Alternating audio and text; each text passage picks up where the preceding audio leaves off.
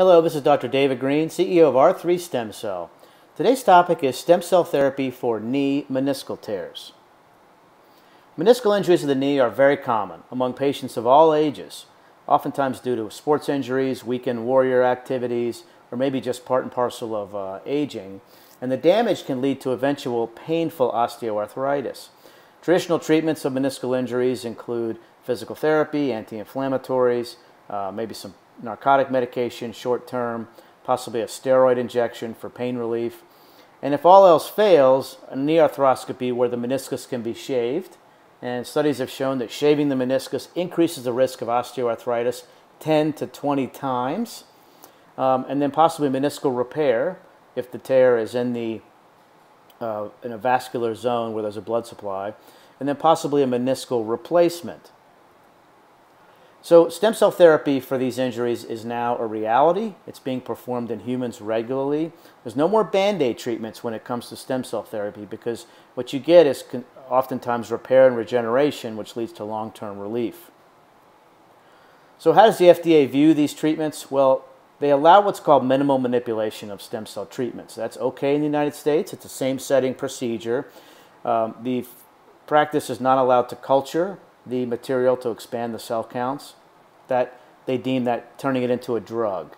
And there's also certain enzymes and additives that are not allowed to be added. Maximal manipulation is what is done in Mexico, Cayman Islands, outside the U.S., and that is where you turn the biologic into a drug by culturing the um, material, whether it's your own or, or uh, allograft. Um,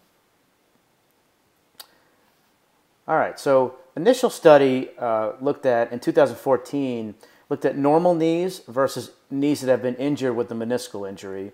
And they showed that mesenchymal stem cells do exist in the synovial fluid in increased numbers.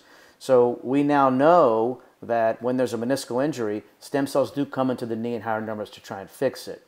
In the lab, uh, there's been studies showing that a stem cell collagen scaffold implant does work in the lab to treat white zone meniscal cartilage tears, meaning it's in a zone that has no blood supply. There have been several animal studies in mice and rabbits that have shown significant meniscal regeneration, and now we have a vast amount of in vivo research on the use of different types of multipotent mesenchymal stem cells in various experimental settings, whether it's um, in humans or in animals, with good results.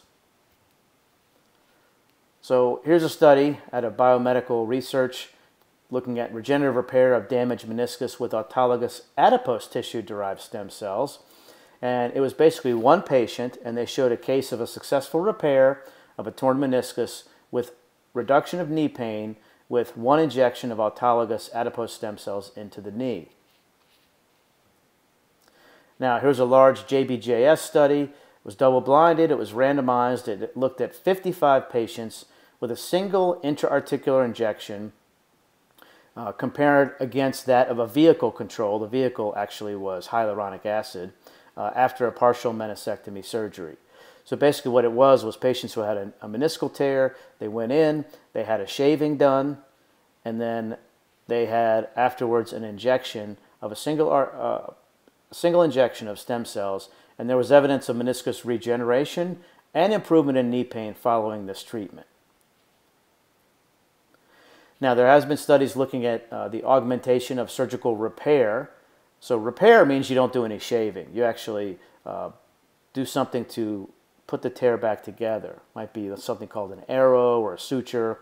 Um, and in this study, out of stem cells in translational medicine, they looked at five patients. Three out of five of them were pain-free after two years, and they concluded that undifferentiated mesenchymal stem cells could provide a safe way to augment a meniscal repair that's done in the zone that has no blood supply.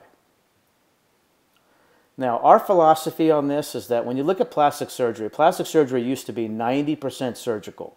Now it's the other way. It's 90% non-surgical due to all of the fillers, the Botox, and the other new products that are available to get the same results as if you went through surgery without all the risks. We look at orthopedic medicine, such as meniscal injuries, the same way.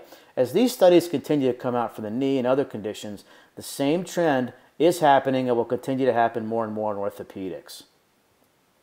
The conclusion is that stem cell therapy for knee meniscal tears has been definitively shown to work well in the lab and several animal species. Multiple studies show that it now works well in humans as either an alternative to surgery or as an adjunct to help augment surgical outcomes. Three stem cell centers of excellence, we truly want to make a difference in patients' lives by helping them avoid surgery and remain as active as desired at whatever level is desired. Our affiliated centers of excellence are located nationwide and offer first rate regenerative treatments. Visit us today at r3stemcell.com or simply give us a call at 844 GET STEM. Thank you for watching.